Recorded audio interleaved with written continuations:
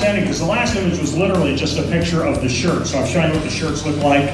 Uh, and in closing, you know, that's what Get Bent is about. I'm going to start this brand. I'm, brand I've already started. I've got to go. A woman walked in here this morning, said, driving here today, she saw one of my decals on the back of a truck, which is where we want to go. So on that, I'll end it and open it to questions. All right, thank you, Buck.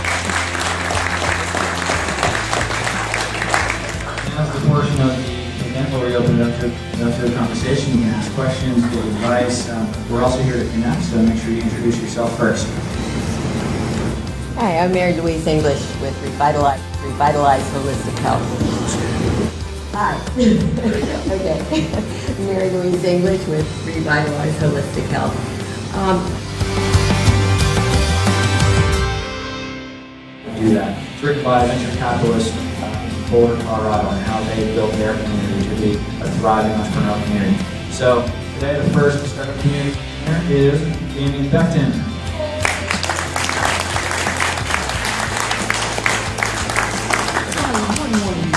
All right, Jack. Be sure to come back next week, same time, same place. We have a twin flame yoga apparel.